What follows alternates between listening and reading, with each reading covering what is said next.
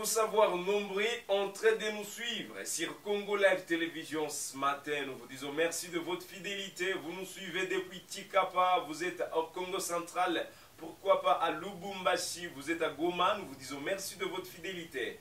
Ce matin sur Congo Live Télévision, nous recevons Monsieur Moïse Hangui, un Mouzalendo, acteur de la société civile, mais également citoyen congolais. Monsieur Moïse, bonjour et bienvenue encore sur Congo Live Télévision. Bonjour David, bonjour tout le monde. Merci pour euh, ce grand rendez-vous, cet entretien qui va devoir nous permettre de mettre au parfait nos téléspectateurs, nos compatriotes des pères et des mères qui se préoccupent de la situation très préoccupante, permettez la redondance et alarmante qui se passe ici à l'est du Congo. Je suis personnellement très content de ces moments. Merci en tout cas une fois de plus pour l'invitation. Très chers téléspectateurs, je sais que euh, vous suivez Congo Live Télévision de partout à travers le monde. Vous êtes en Europe, euh, Bruxelles, en Belgique, vous êtes à Paris, nous sommes en France, en Allemagne, à Berlin, vous êtes pourquoi pas de l'autre côté de l'Asie, vous êtes en Chine, vous êtes au niveau de la Russie, vous êtes euh, aussi de l'autre côté de la planète, aux États-Unis, à New York, à Washington DC, pourquoi pas ici à travers les continents africains. Merci en tout cas de votre fidélité. Merci aussi de votre intérêt et de votre euh, attention euh, apportée à, cette guerre qui ravage une partie de la République. Merci d'avoir accepté notre invitation et bienvenue de nouveau sur Congo Live Télévision. Messieurs Moïse, on parlait ici. On descripte ensemble la situation dans l'Est de la République démocratique du Congo, mais on commence avec cette grande nouvelle venue du Rwanda. Là, c'est après le bombardement de l'Assadeur dans les territoires de Massissi, dans les bases des rebelles du 23, dans les territoires de Rutshuru, les FRDC qui ont attaqué également les positions des rebelles. Ça s'est parlé au Rwanda que Paul Kagame aurait remanié son gouvernement. Il a remanié, pas même aurait. Le président rwandais a remanié son gouvernement, c'est clair. Et plusieurs généraux au Rwanda ont été remplacés. Cela dit à quoi? D'abord, je vais vous dire que j'ai salué, j'ai aimé euh, cette nouvelle lorsque je l'ai apprise aussi. Je me dis que tiens, Kagame est, euh, effectivement en train de, de euh, parcourir ces derniers jours. Déjà qu'il remanie son gouvernement avec toutes les frustrations qu'il y a au Rwanda, parce que vous avez remarqué, le temps que son pays se prépare à la tenue des élections, bien que dans un régime euh, de dictature, vous avez, euh, comme moi, euh, vu des opposants qui ont été effectivement contraints de participer dans ces processus et des activistes comme nous qui ont été arrêtés par M. Paul Kagame. Qu'est-ce qu'il faut dire par rapport à ce qui se passe au Rwanda? Je pense que le régime de Kagame est un régime finissant je suis en train de me dire que d'un moment à l'autre, le Rwanda va se débarrasser de ces messieurs et les compatriotes euh, rwandais vont devoir maintenant peut-être euh, vivre le bon moment et avoir un autre président euh, animé par l'essence du panafricanisme. Vous le savez, il est au pouvoir depuis 2001. Aujourd'hui, nous sommes en 2024, ça veut dire qu'il réalise autour des 23 ans à la tête du Rwanda avec euh, effectivement euh, un leadership euh, caractérisé par le terrorisme, caractérisé par, je vais dire, la restriction de l'espace civique. Kagame ne permet plus à ses opposants de s'exprimer. Les médias sont, je vais dire, restreints. Il n'y a pas la liberté de presse, encore moins la liberté d'opinion, encore que même la plupart des Rwandais ne sont pas satisfaits de sa gouvernance. Maintenant qu'ils sont au point d'organiser les élections, personnellement, je me dis que c'est le grand moment, c'est le grand temps pour les Rwandais, nos compatriotes rwandais, de se débarrasser de ces messieurs. Il a remanié le gouvernement parce qu'il est conscient qu'il y a certains membres de son gouvernement qui sont même révoltés par sa gouvernance euh, médiocre et qui sont prêts à les renverser. Je crois que euh, d'un moment à l'autre, ne soyez pas surpris que vous puissiez voir un général courageux au niveau du Rwanda qui va devoir renverser M. Paul Kagame et pour nous, ça sera une fête. Et le fait d'abord de changer ces généraux, de le permettre les autres de faire asseoir, c'est dit D'abord parce qu'il n'a pas confiance à toute son équipe, à tout son entourage. Il a peur en fait. Et je vous dis qu'il va être... Euh, euh, euh, il, va, il va se voir effectivement être renversé par même ses proches. Ce n'est pas un plat des Congolais, nous n'y sommes pour rien. Mais je vous dis, les Rwandais sont révoltés, mon cher. C'est parce qu'ils n'ont pas cette possibilité de s'exprimer comme nous le faisons ici en République démocratique du Congo.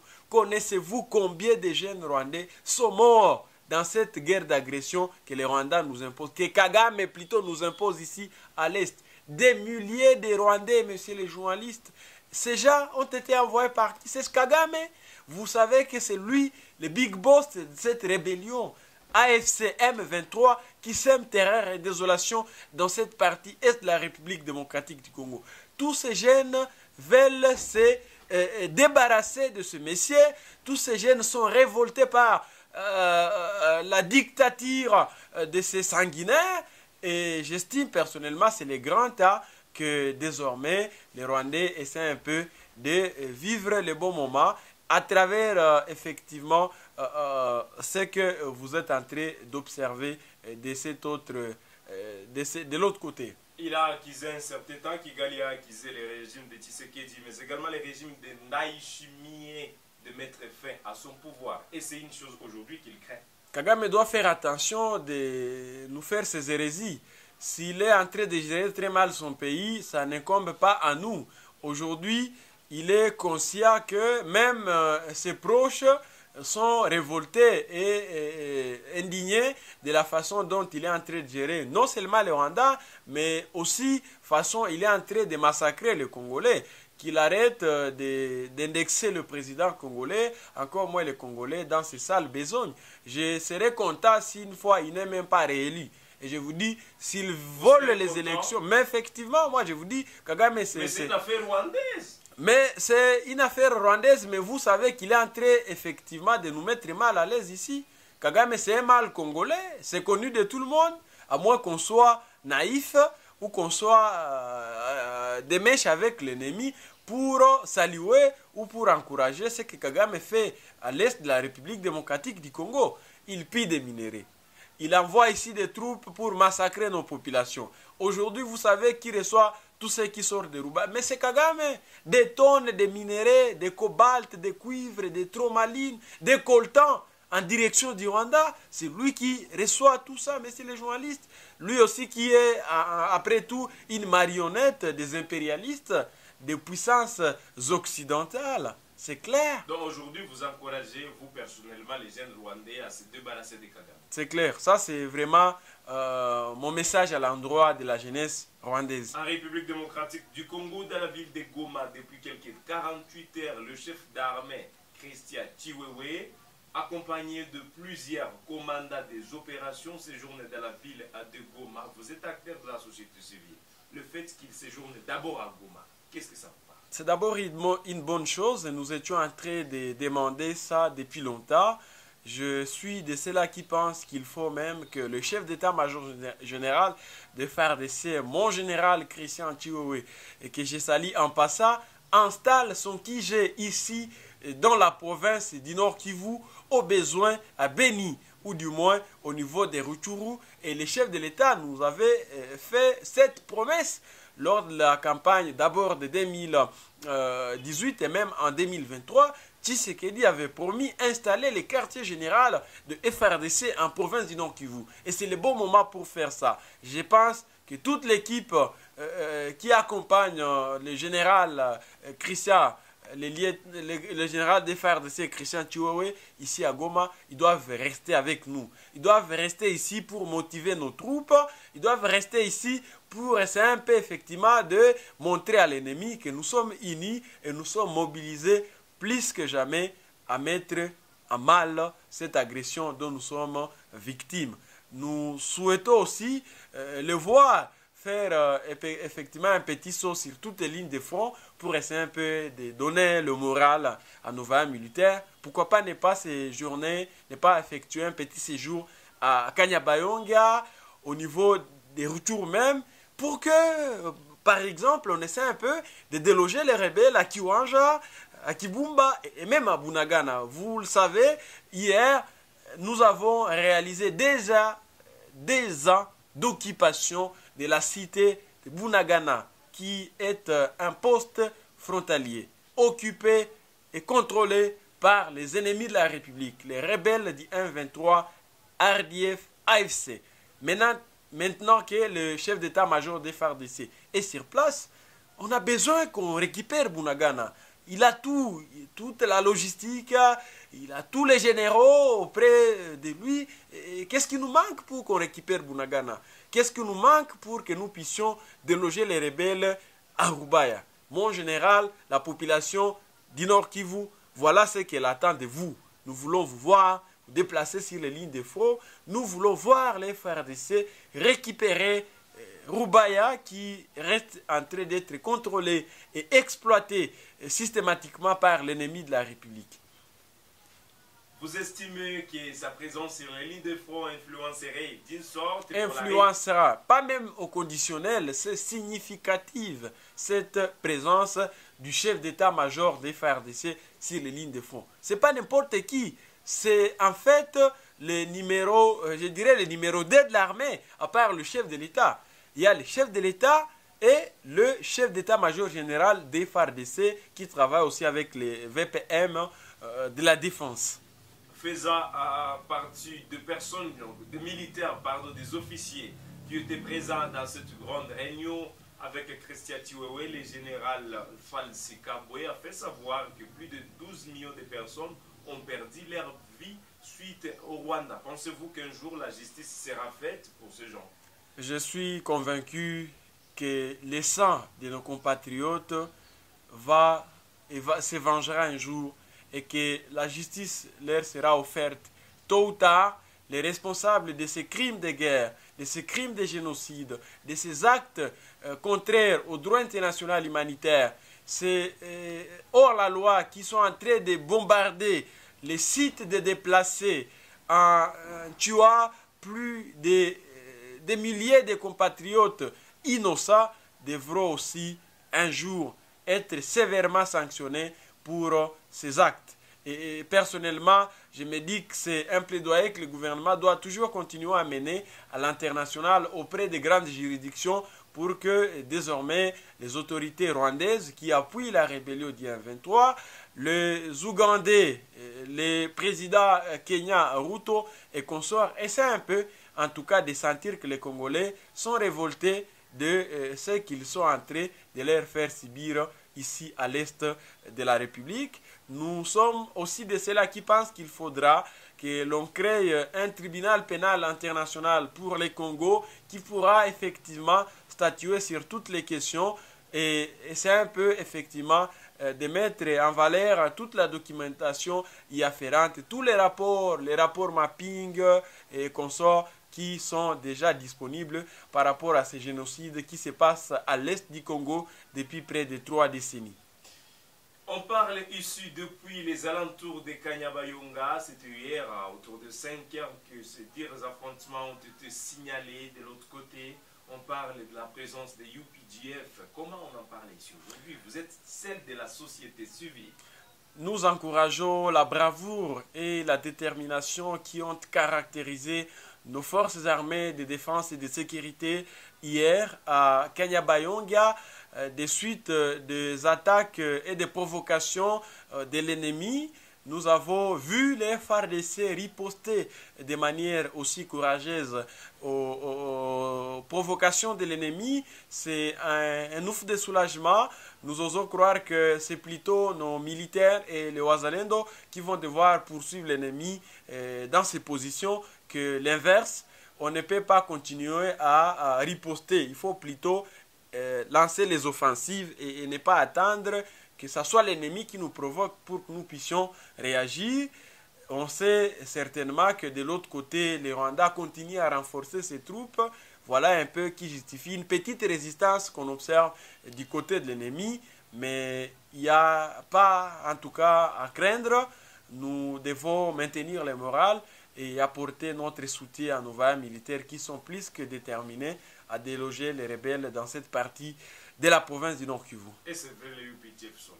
Les UPDF sont sur place euh, dans une opération qu'on appelle euh, Souja, une opération conjointe. On, on parle d'abord à mène. des M23. Effectivement, je vais d'abord parler de ça, préciser ici qu'il y a effectivement cette mutualisation de forces, mais qui a accouché d'une souris, d'autant plus qu'on avait écrit que euh, ces militaires allaient aider et accompagner nos FRDC. Qu'est-ce qu'on observe sur terrain? Ils sont en train de nous tirer derrière les dos en collaborant avec l'ennemi de la République.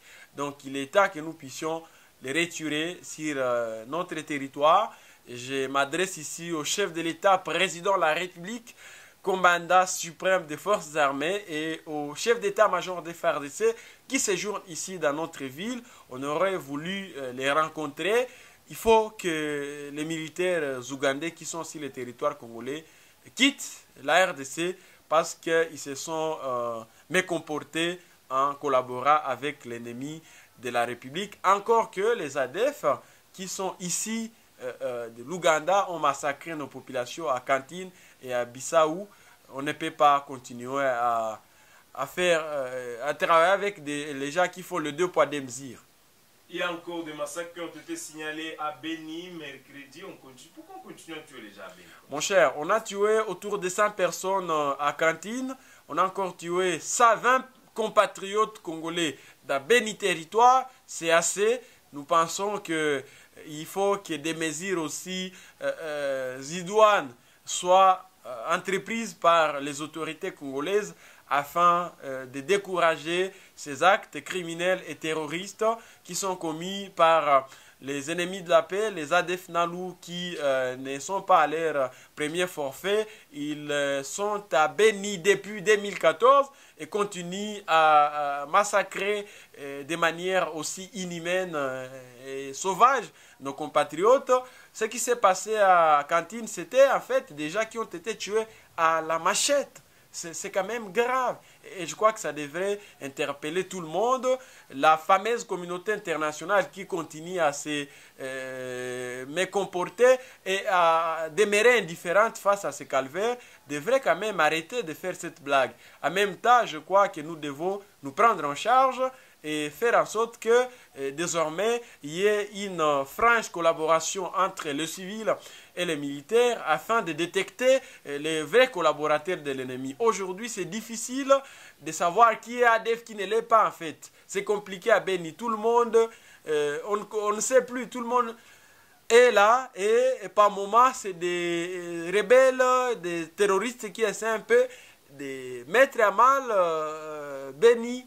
On ne sait pas, ils sont venus d'où, comment est-ce qu'ils opèrent, mais bon, c'est des morts qu'on enregistre. Je crois qu'il faut qu'on travaille sur euh, cet aspect lié à la collaboration entre les civils et les militaires. Oh, Ça pourra permettre à ce que l'on sache qui est qui, qui ne fait pas quoi, qui collabore avec l'ennemi, qui ne le fait pas. Aujourd'hui, on confond toute la population à l'ennemi. Et ces parents ont fini par euh, un message, un mot spécial à ces forces armées de la République démocratique euh, du Congo, notamment à tous ces généraux qui sont là, les chefs des opérations dans différentes positions, mais également à ces vaillants militaires et FARDC. Je m'en vais d'abord féliciter et encourager nos vaillants militaires qui sont sur les lignes de front avant que je ne revienne par rapport au staff qui accompagne les chefs d'état-major général.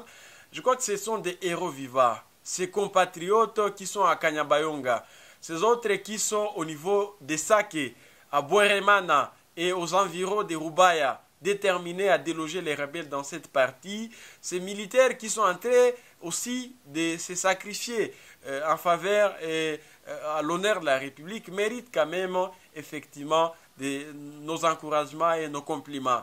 Je voudrais aussi euh, essayer un peu d'inviter les responsables de l'armée, les chefs d'état-major général qui est sur place et, tous les responsables logistiques militaires de continuer à songer sur les conditions de travail de nos militaires.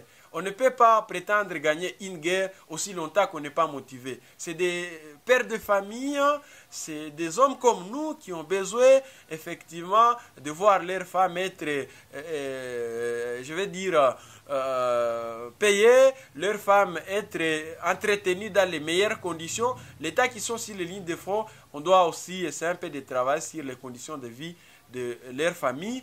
Je suis convaincu que désormais le chef de l'État est plus qu'engagé à améliorer les conditions de vie de nos militaires. Ça va permettre à ce que nous puissions avoir une armée forte, dissuasive, qui va devoir nous aider à rétablir la paix et la sécurité ici à l'est de la République. Ça va nous prendre l'État, mais nous restons optimistes quant à l'issue de cette guerre. Et c'est la fin de cette émission, mesdames et messieurs. Nous vous disons merci de votre fidélité. Merci également à Moïse Hangui d'avoir répondu à notre invitation à ce jour. Nous vous disons merci et à la prochaine pour d'autres actualités. C'est plutôt à moi de vous remercier et à remercier Congo Live Télévision pour cette opportunité.